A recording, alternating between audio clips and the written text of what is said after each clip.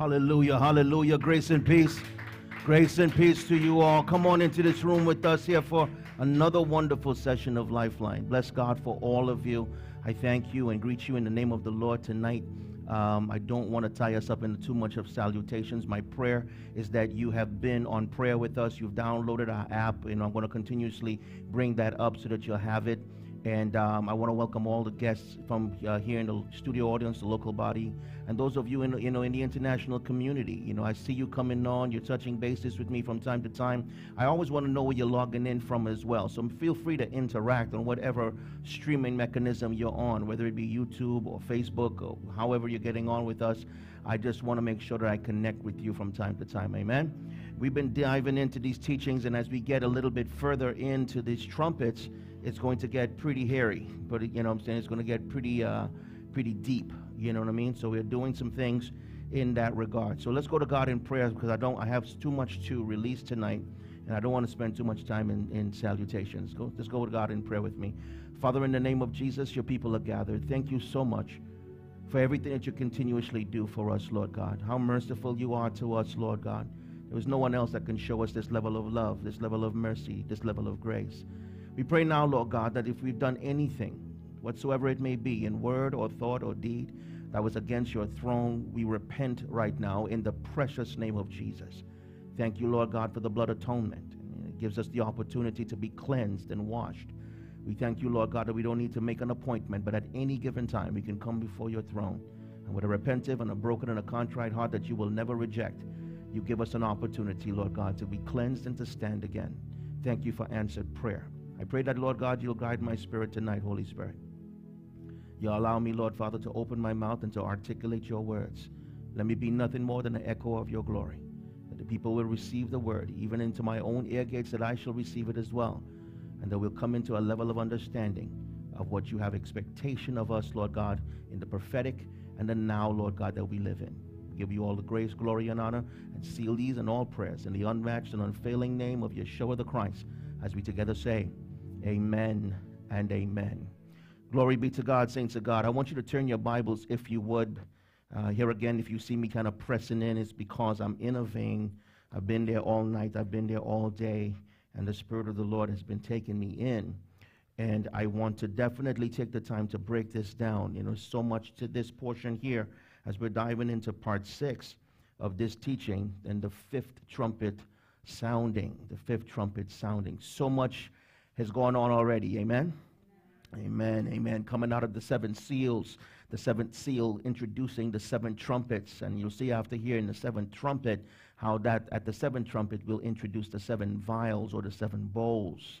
You don't want to be, you know, you know, uh, taking this lightly, not for yourselves. We talked about the rapture of the church. We talked about those leaving. I don't want you to get giddy on the fact that you might be there and getting ready to leave, you know, before all these, these judgments begin to happen. Um, you know, because you might just get shocked as who make it in. Bless God, amen. Okay? So we want to make sure that we're always wearing the heart of God, the heart of Christ, and to go out and perform what he says for us to perform. To perform. You don't buy this as a bus ticket to heaven. It's not that type of situation. All right? You have to make sure that you're living that life in accordance to God's word. You know what I mean? That you're staying steadfast and unmovable. That's how you qualify in that regard. And, you know, the blood of Christ, you know, standing in, you know, with and for you but you have generations of your lineage. You are here in this particular time frame, and you are having children or grandchildren, or you're a part of some level of a family of that nature. That somewhere along the line, whether it's a niece, a nephew, or whatever it is, they will be going through these situations here. What you learn today, it shows you the embodiment and why it's important for you to go out and decree God's word to his people. It is important that you set the example because they will not know if you do not train them. They will never know if you do not train them. So don't get giddy on the fact that, hey, the church is raptured out of here and I'm gone. Wrong. All right? Because you're not loving anyone if you leave them aimless and they don't know. Amen? Amen. Let's go here to Revelations again. Um, last time you were here, I do want to back up just a little bit. We dealt with the fourth angel and um, I usually do a quick little recap. Tonight I'm going to just zone in a little bit more to the fifth angel. But there is a portion of this that from the last teaching that I did not get a chance to tell you. And I want you to turn your Bibles and we're going to look at it together in Revelations 8 and 13. Revelations 8 and, and 13. Let's start there first and then we'll bring it on in to the fifth angel sounding the trumpet. Revelations 8 and 13. Now, when you see it on your screens in Revelation 8 and 13, you're going to see a couple of scriptures. The first one being the King James Version. There's a reason why I put this up here because we study, stay study. We study to show ourselves approved. And so it's important that we look over the scriptures to do cross comparisons of what it is that we're seeing. Amen? Revelation chapter 8, and the first one that you're seeing on your screens here is the King James Version of it. Let's look at some comparisons. It says here, and I beheld and heard an angel. Say angel. Hallelujah. And I beheld and heard an angel flying through the midst of heaven, saying with a loud voice, Woe, woe, woe to the inhabitants of the earth, by reason of the other voices of the trumpet of the three angels which are yet to sound. We see that in King James. But look down here at the Amplified. It says here, then I looked and I heard a solitary eagle. Hmm. Let's drop down a little bit further and look at the message version of the Bible. I looked hard and I heard a lone eagle. Let's drop down from there and look at the NIV. I, as I watched, I heard an eagle. And come and drop down now to the New Living Translation. He says, Then I looked and I heard a single eagle. That's extremely important, saints of God, because it's not suggesting it is not part of the angelic host. But an eagle, you know, is symbolic. All right? Taking a range high in the sky and overlooking all things, you know I'm saying? The precedence or the presence of the eagle, you know I'm saying, has a command element to it, you know, in Scripture. All right, I'm going to be touching base on that as we go a little bit further into this. But I needed you to see that, you know, it's just not as just as simple as just an angel. There, there was some definition given to this angel, and in the breakdown of the text, you know, and, the canonized uh, in a portion of the Bible, the interpretation of that angel um, was a little bit watered down in the King James Version. All right, so we'll touch base on that again. I don't want to go off on that tangent about the eagle and its premise and all that stuff and the power and all that stuff. I'll get into that a little bit later on. What we want to do tonight is we want to hear this fifth angel you know, sound and what's to be expected from that. Let's dive again now into Revelation chapter 1, I mean, chapter 9, right? Beginning at verse 1. Revelation chapter 9, beginning at verse 1. Hallelujah. Watch this now with me. And it says, Then the fifth angel sounded, and I saw a star, stay star, star. hallelujah, fall from heaven onto the earth. And to him was given the key of the bottomless pit. And he opened the bottomless pit, and there arose a smoke out of the pit, as the smoke of a great furnace. And the sun and the air was darkened by reason of the smoke of the pit. And there came out of the smoke locusts upon the earth. And unto them was given power as the scorpions of the earth have power. And it was commanded them that they should not hurt the grass of the earth, neither any green thing, neither any tree, but only those men which have not the seal of God in their foreheads. Hmm. And verse 5 says, And to them it was given that they should not kill them. They're not supposed to kill the men, but that they should torment, right? The, the men should be tormented five months. And their torment was as the torment of a scorpion when he striketh a man. And in those days shall men seek death and shall not find it, and shall desire to die, and death shall flee from them. Get a little reverb. Bless God. Amen. Hallelujah. It says here now in Revelation chapter 9 and verse 7, hallelujah. And the shapes of the locusts were like unto horses prepared unto battle, and on their heads were as, were as it were crowns like gold, and their faces were as the faces of men. Verse 8 says, And they had hair as the hair of women, and their teeth was as teeth of lions. And they had breastplates, as it were breastplates of iron, and the sound of their wings was as the sound of chariots of many horses running to battle. And they had tails like unto scorpions, and there were stings in their tails, and their power was to hurt men five months. And they had a king over them, which is the angel of the bottomless pit, whose name in the Hebrew tongue is Abaddon but in the Greek tongue hath his name Apollyon. One woe is past, and behold, there comes two woes more hereafter. Glory be to God for this word that He's given to us. Saints to God, we have journeyed through so much in these texts already, and the damage is significant upon the earth and in the stellar community. We have seen that the Lord has damaged the sun, the stars, the moon. You know, it's not shedding light. We've seen that the ecological and hydrological systems of the earth are damaged. We've seen that green grass was burnt up. All right, obviously, that when we're diving, diving in here to Revelation chapter 9, we see that the grass has grown back. Hmm, see? There's some time frames in there. You're going to find out, you know, those time frames where you see in that five months, it can raise curiosity. Why is there just five months? Well, there's so much different, you know, uh, symbolic nature connected to that five months, but more practically, you find that from Daniel's revelation. Okay? Now, there are three and a half years, a whole seven year period, three and a half years on one side where Israel is protected, and then three and a half years on the other side where Israel, you know, is persecuted. Okay? And this is what you're dealing with in the formats of the persecution. So the latter half of the three and a half years in Daniel's prophecy, that 1,260 days that we have recorded there, this is five months, you know I'm saying, in that time frame, in that three and a half years. All right? This, this is going down. All right? Now, one of the things I want to show you as we journey back up, if you would to Revelation chapter 9 again, um, beginning at verse 1 again for me, I want to take some time to, to, to deal with the star that is mentioned here. Okay? The, the star that's mentioned here. If you would, I have a. Um, I have uh, Revelation chapter 9 in multiple versions as well.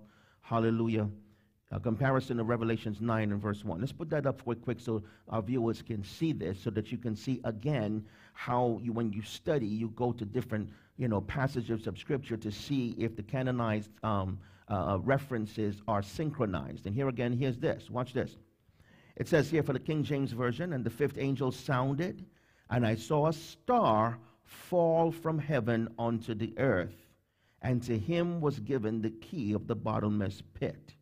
Now, when you see this in the in the new in the, in the King James version, and you see, I saw a star fall from heaven onto earth, onto the earth. The way that we comprehend things in Western civilization, you may think that this angel and his witnessing of it was at that time that he saw the star fallen journey into these other passages with me, and I'm going to show you something because I made a comment to you when we were dissecting Revelation chapter 8, and I showed you the star wormwood as we were talking about that star, and there's a classic difference between each one. Wormwood was an actual meteorite or an asteroid. That's what is in, you know, that's what we deduced that it would be. This is not that because this has give, been, been attached with a pronoun right? When we see here in the Revelations 9 1 in King James Version, a star fall from, from heaven onto the earth, and to him. You see that? And to him, this is not an asteroid. This is not a meteoroid. This is, this is something, this is a physical uh, a creation here. All right? And to him was given the key of the bottomless pit. But is this a star that's just falling? I told you back then there were no more fallen stars. That already took place. So, so what is John seeing here? Is he seeing a star that's actually falling at that time? Let's take a look at the other passages of Scripture, and we see what they what they actually um, deduced out of the, of the, um, the, the the components of the original scripts. Watch this. It says in the New King's version, New King James version of the Bible, it says, "Then the fifth angel sounded, and I saw a star fallen." Do we see this? I saw a star fallen from heaven to the earth. Let's look at the New Living Translation right below. The fifth angel blew his trumpet, and I saw a star that had fallen. Do you see this? To the earth from the sky. Look at, look at the NIV. The fifth angel sounded his trumpet, and I saw a star that had fallen from the sky and to the earth, and the star was given the key to the shaft of the abyss. You'll see what that whole abyss piece means. This is the reason why it's highlighted for you. But just in reference of what we're looking at here, this is talking about an angel that's already a fallen angel. Okay? Not an angel that just fell at the point in time that John was viewing this.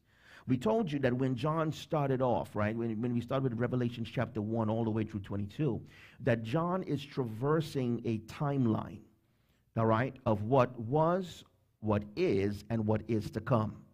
All right, and going further now, as we're beginning to step into the these these last three woes, right? The woes, all right, the fifth, the sixth, and the seventh trumpet. We are going to find that John is going to be, you know, viewing and casting his vision back on some things that already took place, and fast forwarding it into the now and then into the future. So he's going to be having this traversing going on with us. And so we're going to go in for a ride, a little bit of a roller coaster ride concerning this when we go forward into those, those extended teachings. Okay? But for tonight, we're spending time understanding what's going on with this fifth angel. And we see already from the text, you know, in Revelation chapter 9, that he blows and there's a star that's involved. We already added now that there has a personality connected to this star and a pronoun, so it has a him that's been given some keys. All right? Now, the thing about it is, I told you that this, uh, these things that are occurring here have some reference points. Some things that you're going to see in the book of Revelation all right, are going to be highly symbolic. All right? It's the reason why you saw the difference between King James Version saying angel and the other saying eagle. Right? It doesn't suggest that the, the angel is not an eagle or does not have a feature of an eagle. All right? We know that those exist. And so, you know, the little pictures of the angels that we have here on earth, the little chubby one that has the has the, the arrows for love and all the other crazy stuff that we see, you know, that's not what angels look like, saints of God. If you hear the description of some of these things as we go forward, you'll be very scared. Hallelujah. All right? These angels are nothing to play with, you know. Maybe why when they showed up on everybody's doorstep, the first thing they said was, Fear not. You know, fear not, because when you see this, you know, it's, it's so much to behold. Angels don't stand in normal height as men. They can take the form of men, but they cannot, in their natural state, they're very big. All right? They're very big. You see an angel now, you might run for the hills. Okay? So that's important because of a couple of things. First things first is that I want you to look at the fact that I told you that many of these situations that are happening with these judgments have been done before. So there are literal sense that is connected to some, and then there's symbolic senses that are connected to others. Let's journey into that for a quick second to see if this ever happened with locusts, as we have here in the fifth trumpet blowing. Exodus chapter 12. Let's look at verse 13 through 15. All right, watch your screens. I pray prayerfully that you're taking notes. I pray that I'm not going too fast for you tonight. All right, but I want to take my time so you should get a proper understanding. Say understanding. Hallelujah. Exodus 12, you know, beginning at verse 13. Watch this. And Moses stretched forth his rod over the land of Egypt. And the Lord brought an east wind upon the land all that day and all that night and when it was morning, the east wind brought the locusts. And the locusts went up all over the land of Egypt and rested in all the coasts of Egypt. Very grievous were they. Mm-hmm. Very grievous were they. Before them there were no such locusts as they, neither after them shall be such. Hmm, pay attention to that. All right, so there's a definitive situation with the locust that's appearing in Egypt and what we're dealing with now. He says, for, verse 15 says, For they covered the face of the whole earth so that the land was darkened. And they did eat every herb of the land and all the fruits of the trees which the hail had left. And there remained not any green thing in the trees or in the herbs of the field through all the land of Egypt. Now, you would recall, right, in Revelation chapter 9, when this fifth angel blows, that these locusts are released from a bottomless pit. You'll also recall that we just read that they were let out from a, from a, from a pit that, that had smoke that came up that pretty much blocked all the rest of the light that was coming from the sun that remained, the moon, and all that stuff. All right? And there's a lot of heat that's coming out of this pit. We'll touch base on what that pit is. All right? But these locusts that come out here have a different description. They were told not to hurt the green, not to hurt the trees right? Not to do anything but to torment man five months.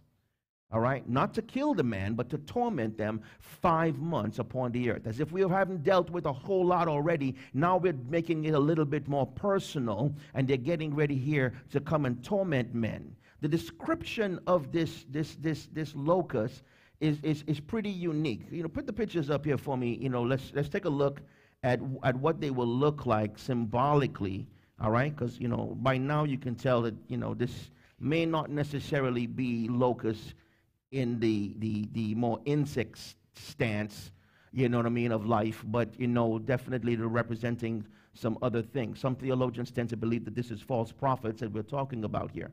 But just based on the description, you see the image on the screens, hallelujah, you'll see that, you know, in the description out of Revelation chapter 9, keep the image up for me. It says here that in verse 7, all right, that uh, it says that, the, and the shapes of the locusts were like unto horses prepared unto battle. Look at this image of this, this, this locust on your screen. And their heads were as it was like crowns of, of like gold. You see that? And their faces were the faces of men. You see that? And their hair, and they had hair as the hair of women and their teeth was the teeth of lions. You see that? They had breastplates and breastplates of iron, and you know their wings fluttering would make a long sound. A lot of people believe that these are helicopters and all kinds of different things. But you know what? Let the Holy Spirit give us wisdom and understanding. All right? Because with every generation that comes with any type of mechanized warfare, we tend to believe that these are these locusts. This stuff has not yet happened because we are still here. Okay? This is your marker. The rapture is that marker. Some people don't believe in the marker. Okay, that's all well and fine. But there's biblical evidence of a lot of this, you know, happening after the church has exited. Similarly, you know what I'm saying, as Israel exited. And, you know, once we're exiting certain places, these places are judged. All right, from that standpoint. God protects his church. Amen? God protects his people. And so, you know, when you see that, and in, in comparison to what a regular locust looks like, all right, you want to put that image up for me? You see that there was a classic difference between the description. There's a lot of similarities in certain ways because when you talk about locusts, they come and they usually destroy vegetations. All right? Locusts show up and, you know, they'll tear through, you know, acres and acres of crops and vegetation, you know, in just, in just a matter of, you know, a, a uh, matter of time. And, you know, very destructive are these, these, these, these, these, these insects. And so um, I believe they're insects and animals, which, whichever one, you know, put them in a category where they fit. Bless God. But I, I, I want to let you realize that the description here is very devastating with an intention to sting men like scorpions. So you know, and it's a torment, so it's not going to kill you. If a scorpion stings you now, nine times out of ten, you know, you know, if you haven't had it treated, you could die. Five months this is going on. All right? And whether being symbolic or not, five months this is going on and being permitted to carry on because God is judging mankind. He told us that he was not going to judge, right, everybody, but those, right, remember this, those that did not have the seal. those that did not have the seal. How do you get the seal? How do I protect myself from going through all of this? How do I get the seal? How do the children of Israel in Egypt make sure that their firstborn wasn't killed? They got that seal through obedience. Say obedience. They could have gone ahead and killed a lamb and did what they wanted to do, have a barbecue in the back of the yard, have fun, and you know, do a whole bunch of stuff, you know, prime rib, everything that they wanted to have, and chill out. And forget to put the blood mark on the doorpost and they would have felt the very same effect. It's the reason why God says, Yes, I know you are my people. Yes, I know that you've been persecuted. Yes, I know that, that, that you know, the, the, the Egyptians have done you wrong. But me just knowing that and loving on you does not give you permission to dishonor and disobey me. That's what we're doing today, saints of God. That's what we're doing today. You we think that because a grandmother prayed for you, or a grandfather prayed for you, or a father or mother prayed for you, that that's okay. You know what I'm saying? I'm covered under the blood. I've seen some crazy stuff where individuals take their Bibles and they open it up to the 23rd Psalm and they put it on their dashboard on their cars and believe that that's some type of force field, you know, while I'm driving on the highways. No, you'll get in an accident and the, car, and the, and the Bible will burn up. That's God because that does nothing for you. He doesn't want it in, in, you know, on the dashboard. He wants it in you. He wants it in you. And we play little games, and they're very ignorant in, the, in, in, in, in how we, we, we demonstrate ourselves because we don't have that commitment that I talked to you about the last time we were here. Saints of God, you just don't get that seal because you're you. Those individuals that were sealed specific to this, found now in Revelation chapter 7. Now, this deals with the 144,000 Jews that are going to go ahead and spread the gospel. But when they spread the gospel, the intent of spreading the gospel is that folks will respond. What's going to happen to them? would, would, would the locusts sting them? No. I've listened to theologians say that the only sealed ones was 144,000. But if the 144,000, I, I, put this out here for my, my fellow pastors and my fellow you know, clergymen that are out here and teaching this, if the 144,000 are sealed and sent to do the work, what are they accomplishing? If the 144,000 are the only ones sealed, so that by the time we get in, now this is Revelation 7 I'm talking to you about, so that what is occurring through the the, the, the breaking of the seven seals, the seven seal judgments. We identified that 144,000 back when we were dealing with the seals, four horsemen, and all the devastation that they brought. So what, they, what, what have they been doing since they, their release and, and to go out here all the way to the point of the fifth trumpet blowing? They're the only ones still sealed? Let's make some sense, saints of God. All right? Let's understand and, and, and engage Holy Spirit when we're studying this so we can understand the whole concept. The concept was that the 144,000 were sealed before this stuff started happening so that they can go out and perform the will of God, presenting the word of God to the people who would repent. Those people who would repent, I would believe that they'll be sealed as well.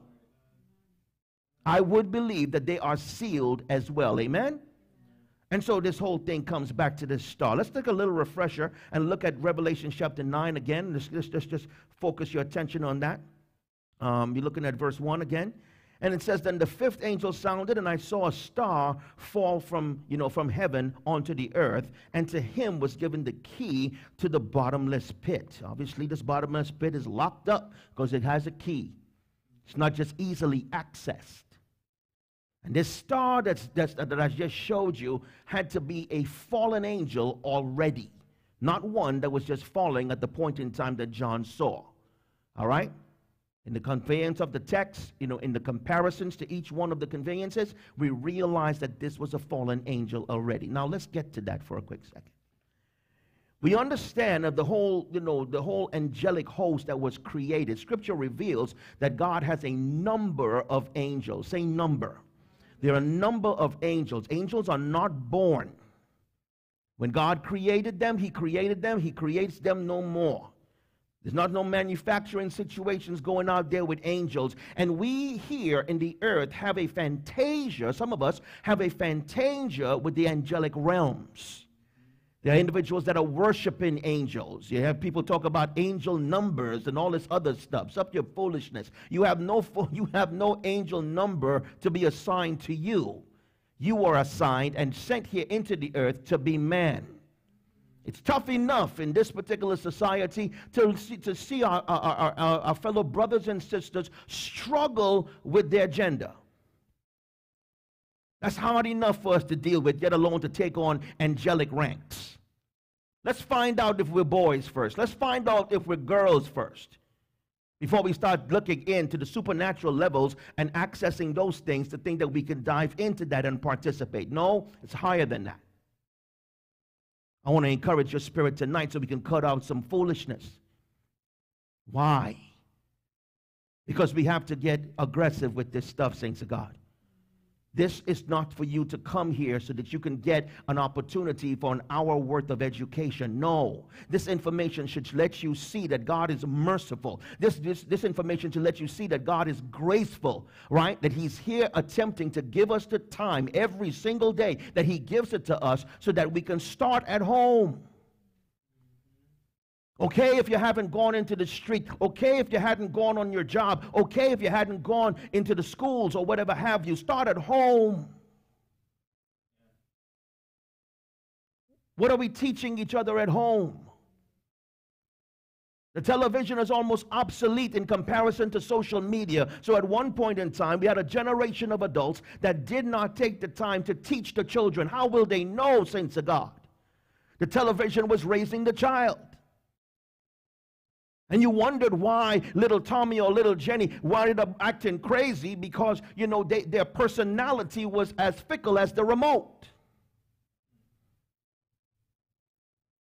They watch something that was, that, was, that was passive, then they may show a passive attitude. They watch something that was aggressive, they may show you an aggressive attitude. Why? Because the remote control was parenting. Who's doing it today? There used to be a time when parents would monitor what kids would interact with. Now, today, that doesn't exist.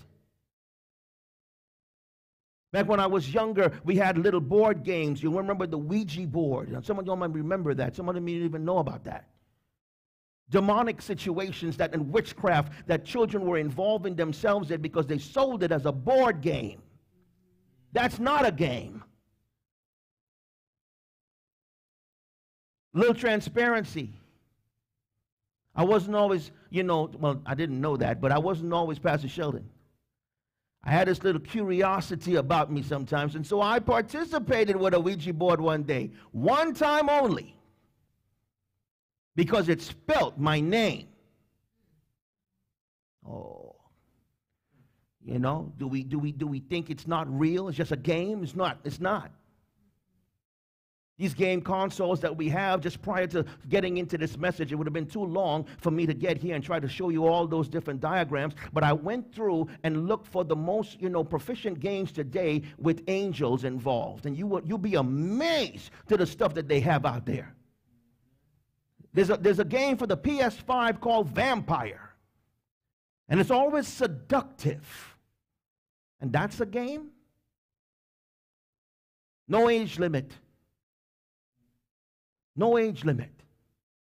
When was the last time we went through our homes to realize what was really going on in our children's lives? When I grew up, you had no privacy. Your parents would take the hinges off the door. Bless God, amen. We may not be there anymore. You know, a progressive society. All right? A progressive society. Is that right?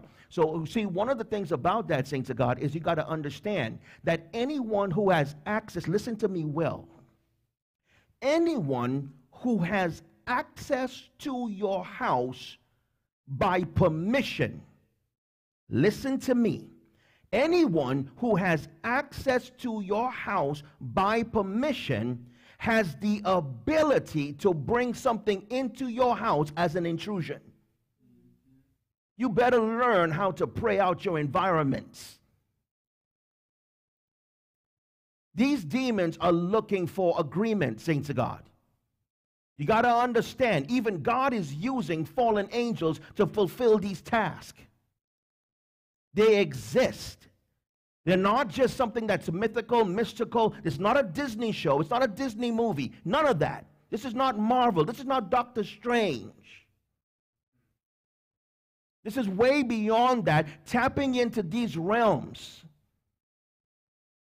Some folks, I love Marvel, saints of God. I have. Always liked that. You know, the whole Iron Man situation, all that stuff is awesome. However, you went beyond when we started looking at things like Doctor Strange. Why? Because you're touching into a whole bu- necromancy and the whole nine yards. And you pass it off as an easy, you know, just sell it off to me as a movie. It can't affect you, this and that and the other. Whose opinion is that? Because all the demon needs is agreement, saints of God. Let me, let me, let me not get, let me get, let me get back into the message so I don't keep you all night. Bless God, have you sign off and never look back at me again. Hallelujah. Watch this now. I want you to put up, you know, we're talking about fallen angels right now. I want you to see something here with fallen angels, and I want you to follow me real quick because I don't think we ever had a teaching on this, and we go in, we'll go into some further depths of it. But I want to keep this image up for a minute so I can explain. All right, follow it with me. In the, in the scriptures, we realize that, the, that there was a revolt in heaven, all right, when Satan solicited one third of the angels and tried to convince them of some foolishness, and God kicked everybody out. One third of those angels are no longer classified as how God originally created them. Right? You see at the top here, all angels, say all angels. Hallelujah. All angels were originally created holy. Right? Because God is a holy God. He created the angels holy. When they rebelled and revolted, this one third, along with Satan, God kicked them out, and they are now known as fallen angels.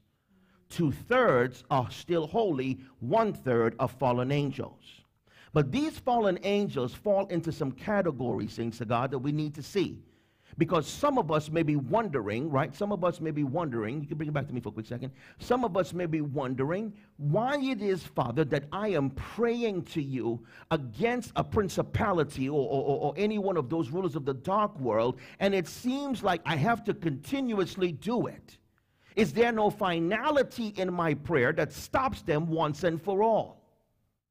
Why is it that scripture reveals that Satan must be released for a thousand years? Why, why is it, you already know he committed the crime. In the system of our justice in the earth, if you know the killer has committed the crime, and within his sentence, we have things like parole, yes, we do, right? But there's sometimes, right, that you you're not just going to go and open up the prison door and says, you know what, we think you've been in here too long. Let me go ahead and give you a you know a, a thousand day break. So God, what's really happening here? Why is it necessary with all the stuff that's going on that you know that you're going to defeat Satan once and for all and cast him and, the, and, and his angels into the lake of fire? Why are you even giving him any leeway? If that has never stirred up in your mind, if you've never had that question, if you've been engaging in spiritual warfare and never really wondered why you have to be so consistent concerning it, you'll learn a little something tonight. Let's go back to the image.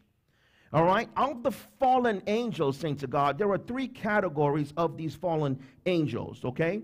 There are those that operate in total freedom. Sounds ironic, but I'll get to that in a minute. I'll show it to you. There are those that have absolutely no freedom. And there are those who are operating in temporary freedom. Pastor Sheldon, what does that mean? Let's take a look at this stuff as you'll see it for yourself.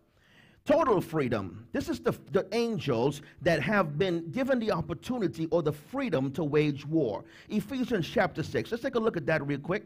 Ephesians chapter 6, beginning at verse 10. You see it? Hallelujah. Watch this.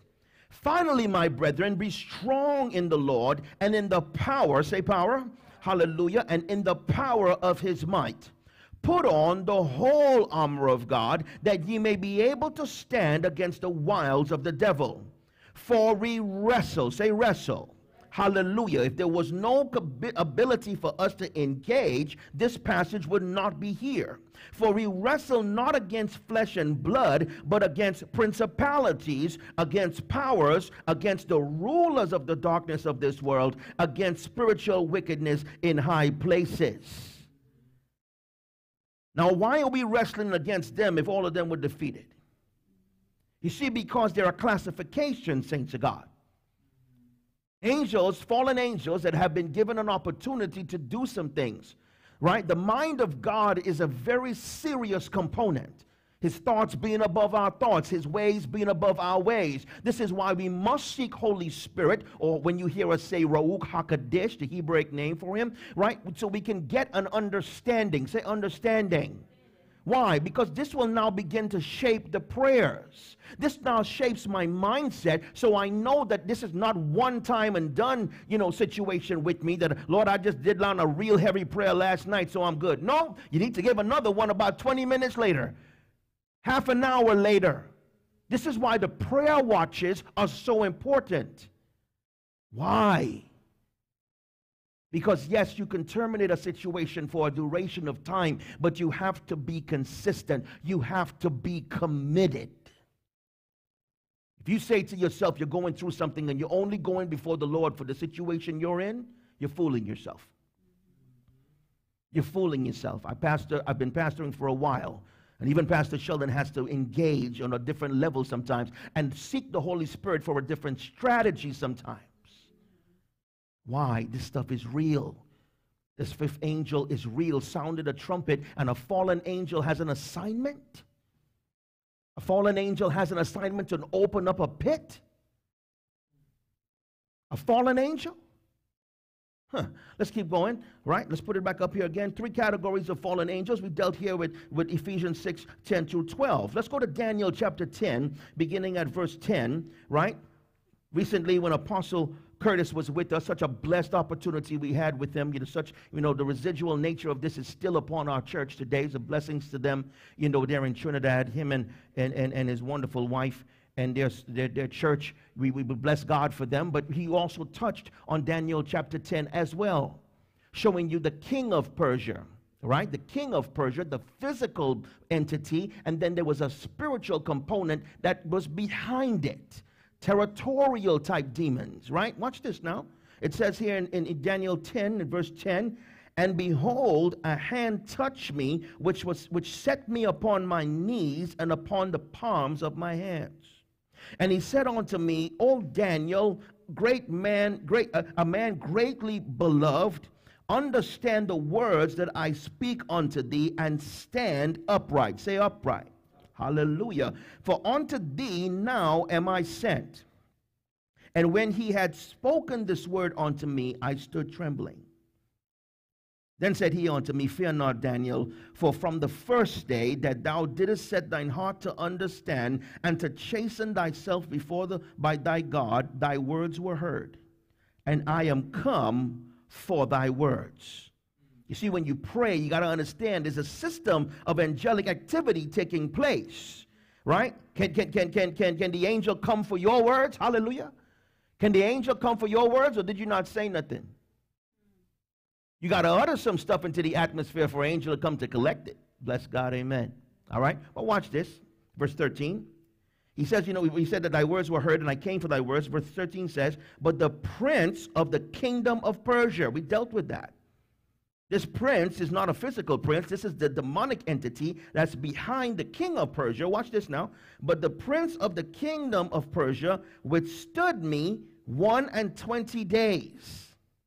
So for 21 days, there's been a confrontation because there is a realm, saints of God, that other activities are taking place in. That's why we cannot be complacent, but we have to be consistent and committed our prayers avail much.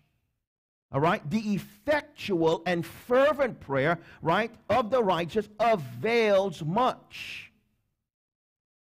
He heard him.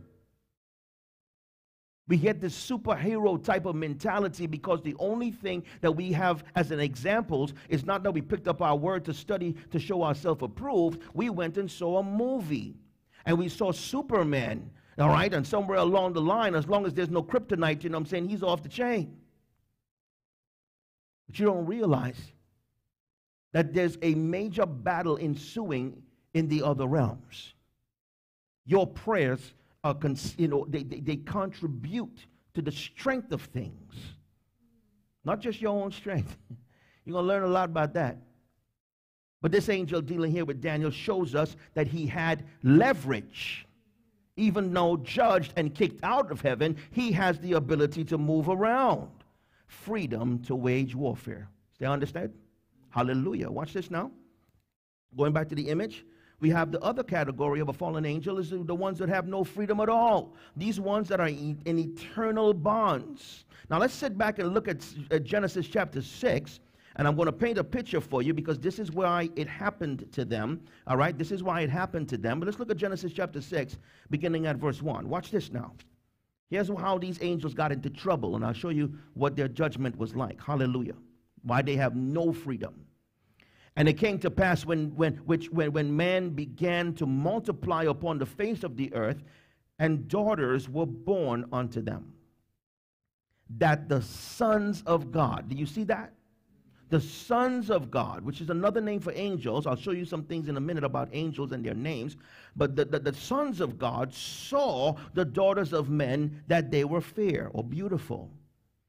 And they took them wives of all which they had chose. An angel that's stepping out, right, of their dimensional uh, system to interact with women in this realm. That is forbidden and it is the my primary reason while I'm on it. And you'll see why this situation here is, is, is really crazy because this is where you spawn homosexuality and lesbianism from. All those sexual perversion situations, it was, it was never supposed to happen. But they got there and they started getting themselves involved. Let's, let's go back to verse 3 of Genesis chapter 6. Watch this now. And the Lord said, My spirit shall not always strive with man for that he is also flesh. Yet his day shall be a hundred and twenty years. There were giants in the earth in those days, and also after that, when the sons of God, see it again, angels, came in unto the daughters of men, and they bare children to them, the same became mighty men, which were of old, men of renown. And God saw the wickedness of man that was great in the earth, and that every imagination of the thoughts of his heart was only evil continually. You see that? A fallen angel that sows a seed into a natural woman. A fallen angel that sows a seed into a natural woman. What are you getting ready to, to, to, to, to, to, to, to create? Because you got to understand there are principles, right? Legal, legal uh, laws that God set up in the earth. Seeds bear after their own kind you have violated the kind and you've morphed us now, you know I'm saying, into this hybrid type of situation that unleashes a certain level of evil. You've already fallen, so the grace of holiness is off of you as a fallen angel. You are you you you violated the you know the, the interdimensional realms and you went with sleeping with women. Women had children in the earth. The principles still stand in the earth. Seed time and harvest? The only thing that's attached to money? no, a seed was sown. Time ensued. And the harvest of a child came. And with the child, right, entered in now different levels of spirits, traversing the lands introducing immorality on many levels. This is why God is saying what he's saying in verse 5. Now, watch this now. And verse 6 says that it repented the Lord that he had made man upon the earth, and it grieved him at his heart. Let's go and back this up right now with 2 Peter 2, verse 4 and 6. I pray that it's making sense to you, but let's show you how I can support this, of which I've just told you. Hallelujah. Watch this now. 2 Peter 2 and verse 4 and 6. It says here in verse 4 for if God spared not the angels that sin, but cast them down to where? to hell and delivered them into chains of darkness. Do you see this? He delivered them uh, to chains of darkness to be reserved unto judgment and spared not the old world but saved Noah, the eighth person, a preacher of the righteous, bringing in the flood upon the world of the ungodly, and turning the cities of Sodom and Gomorrah into ashes, condemned them with an overthrow, making them an example or an sample unto those who should, you know, that, that should um, live ungodly. Now, now, now, now, notice that they tied in the days of Noah, right, with the days of Sodom and Gomorrah. Well, what happened in Sodom and Gomorrah? When the two angels showed up and they came into the city, men, women, and children surrounded Lot's house with the firm intention of doing what? Sleeping with the angels. Men trying to sleep with the angels in every age group to the point that the perversion showed that Lot himself turns around and tells them, Men, don't do this. I have some daughters. So he rather, pimp his daughters out than to stand up for the righteousness. But God, being such a sovereign God, holding on to the merits of covenant that he had with Abraham, saved Lot. Otherwise, he'd have burned up too. But that's why it's drawing this reference here these angels violated. They are the ones in bonds. All right? They're the ones in bonds. I want to take you to, to, to, support that one more place again. All right? Just look at it, you know, with me with Jude chapter 1. All right? Look at Jude chapter 1. It's going to re-emphasize it again. This is, I told you it was going to be a little bit more scripture heavy so that you could understand. In Jude chapter 1 and verse 5, it says, I will therefore put you in remembrance Though ye once knew this, how that the Lord, having saved the people out of the land of Egypt, afterward destroyed them that believe not. Right? Another indication that a rapture can happen, or a rapture will happen. He's always saving us before he destroys those that don't believe. Look at verse 6. And the angels which kept not their first estate you didn't stay within your ranks. You violated. They left their own habitation. He had reserved them in everlasting what? You see how it's reiterating it? In everlasting change under darkness unto the judgment of the great day. Even as Sodom and Gomorrah. You see how he's connecting it? Even as Sodom and Gomorrah and the cities about them in like manner, giving themselves over to fornication and going after strange flesh, are set forth for an example, suffering the vengeance of eternal fire. It had an origin, saints of God. It had an origin. These names are not just being connected for no reason. Jude is prophesying, showing us why these things are occurring and the fact of God's judgment being brought upon the land because of the continuous nature of it. Now it's slipped into the church. You have homosexual pastors. really? Really? And we feel that, you know what, we're hurting people when we stand up against sin. We feel like when we open our mouth to say anything to anyone, we are offending people. Listen to me. The mastery of your ministry is when you learn how to represent the Holy Spirit and the kingdom of heaven uncompromised, knowing how to wield your sword, loving the person and hating the sin. You want mastery in this? That's what you're aiming for. Love the person and hate the sin. Loving someone does not mean that you have to let them love you back. There's no problem. You can love and don't. If your love is contingent on the people loving you, you got a major problem. If the wholeness of your love walk is contingent upon somebody loving you, you have a major issue. You got to learn how to love yourself and love God. Because you're going to offend someone sometimes, saints of God. But you need to stand up for righteousness. You need to stand up for righteousness and not bear tolerance. That's not what you were sent to do. You weren't sent to go take the, the, the, the scriptures and use it as a, as, as a butcher knife either. So that's why it requires skill. Say skill. That's why it requires mastery. How did Jesus do it? There were times that he went in and overturned tables because you got some people that's just off the chain. And then there are times he goes and he sits next to, you know, a woman at a well and have a conversation with her. He didn't come with judgment and all that kind of stuff. In fact, he, you know, he was almost flirtatious. If some people talked about that, you know, he's like, you know, give me a drink of water, but you don't have a cup. But it ensued a conversation to start.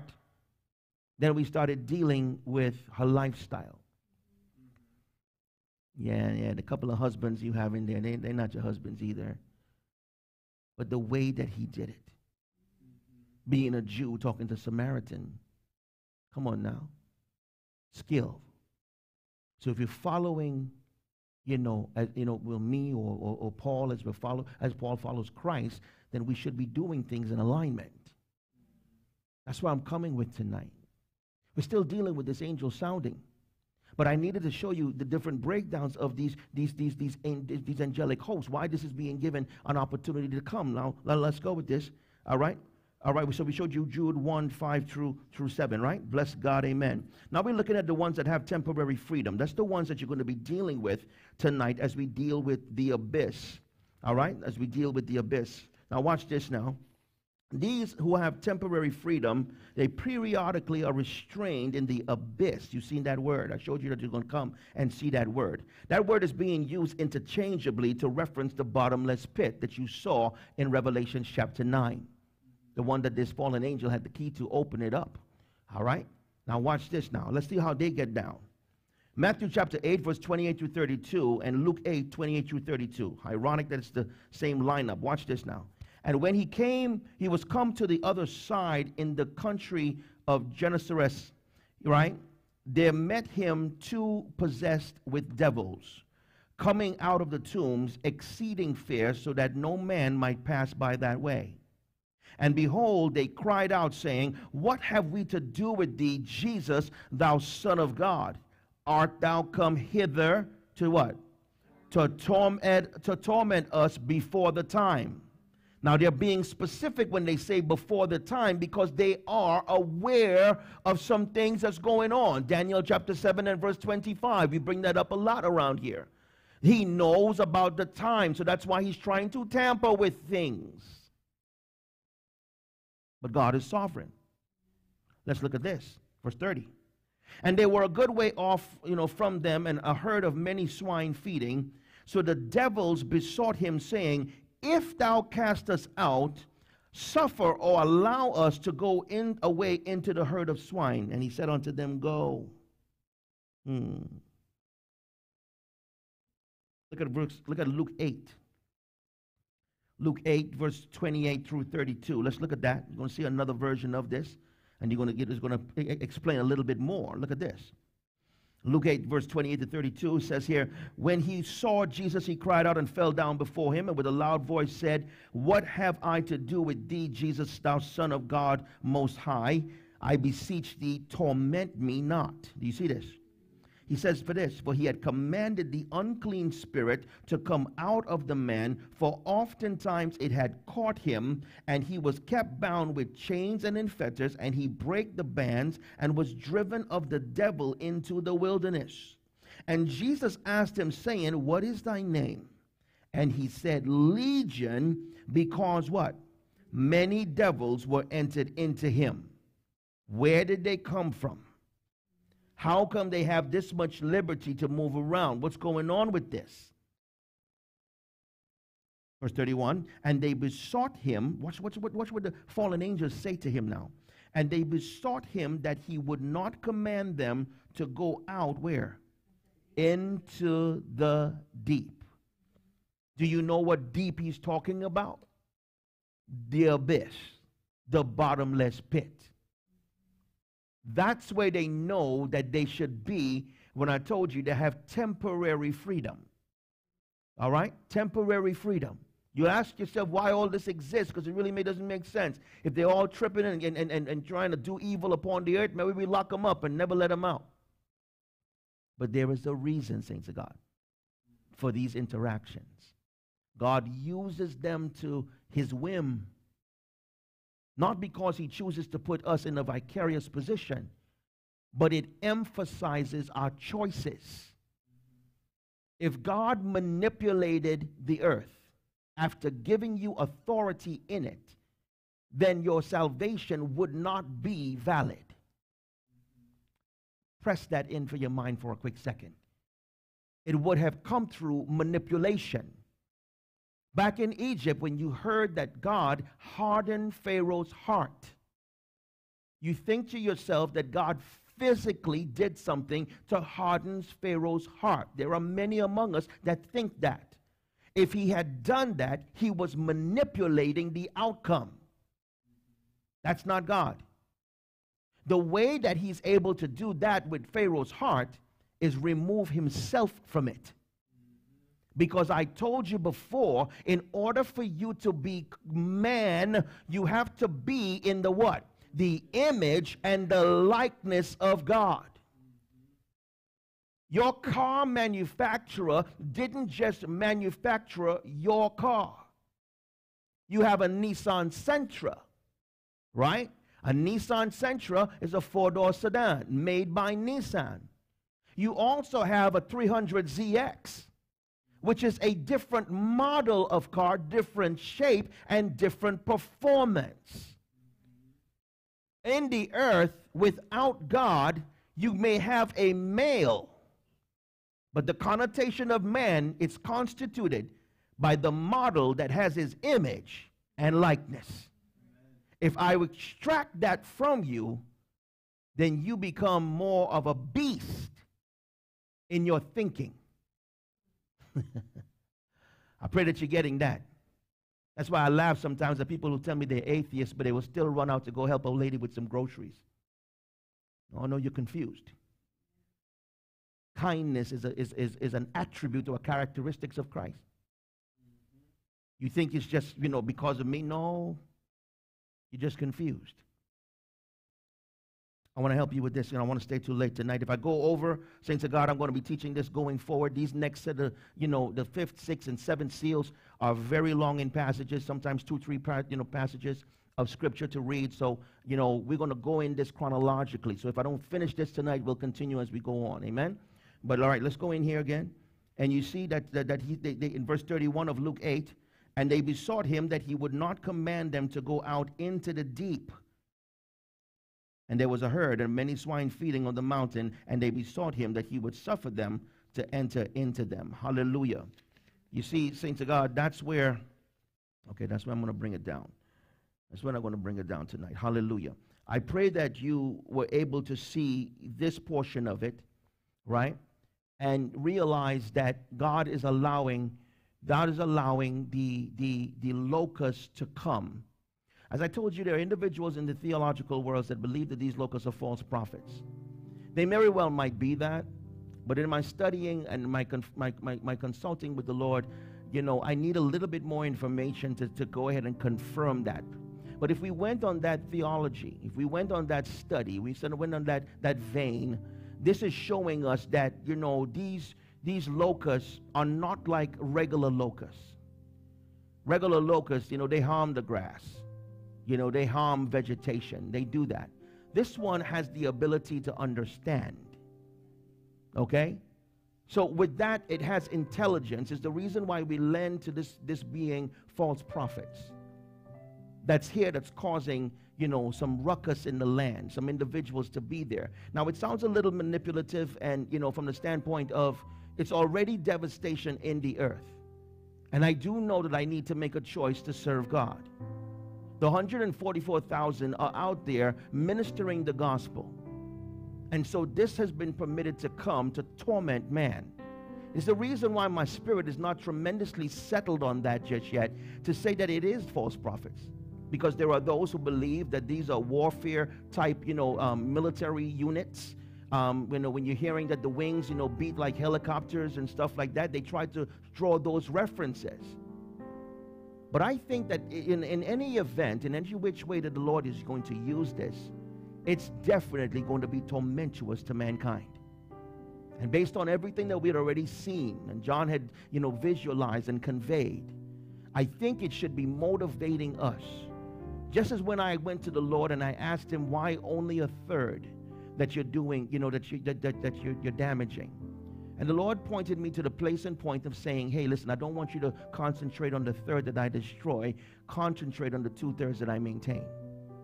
In this situation, I felt the same unctioning in my spirit. We could get caught up and drafted up in the whole, you know, the locust is a mechanized unit and all this other kind of stuff. No.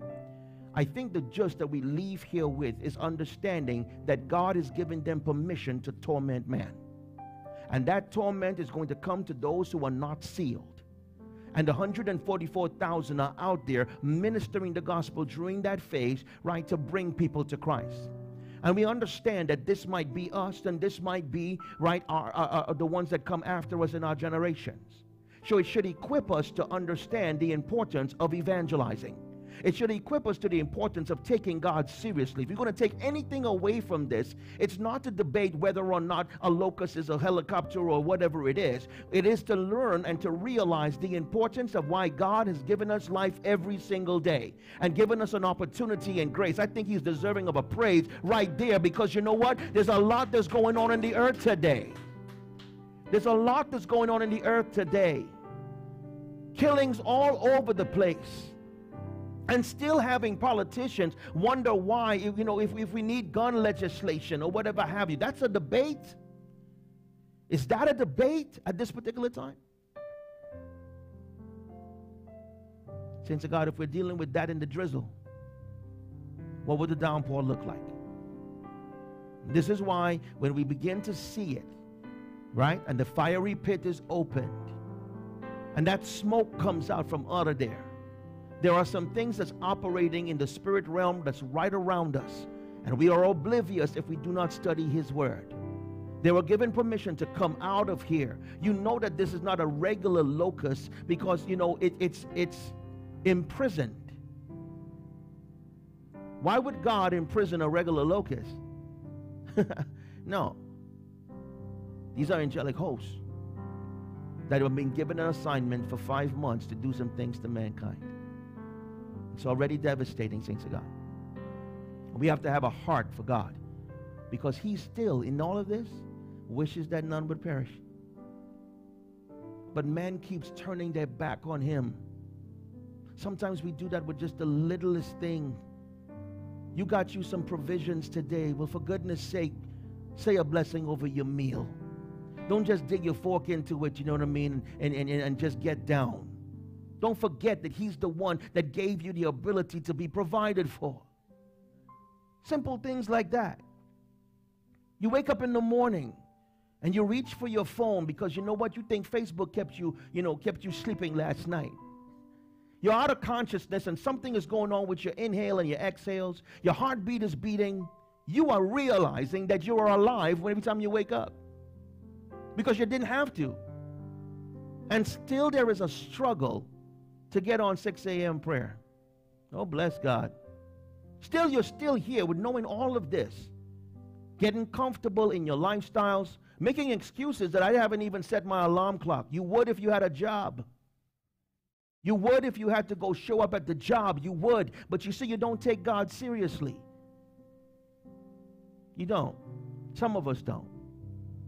And that's why I'm encouraging you you know, to press forward and do what God sent you to do here so that you can teach the generations. You don't have any children, somebody's still looking up to you. You have influence over somebody else's child, somebody else in your, in your, on, your, on your level as well. Have you encouraged them in the Lord? Have you encouraged yourself in the Lord? That's what we take away from all of this.